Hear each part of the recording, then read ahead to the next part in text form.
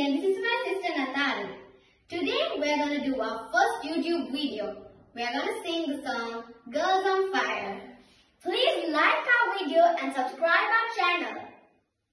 Thank you. Girl and she's on fire.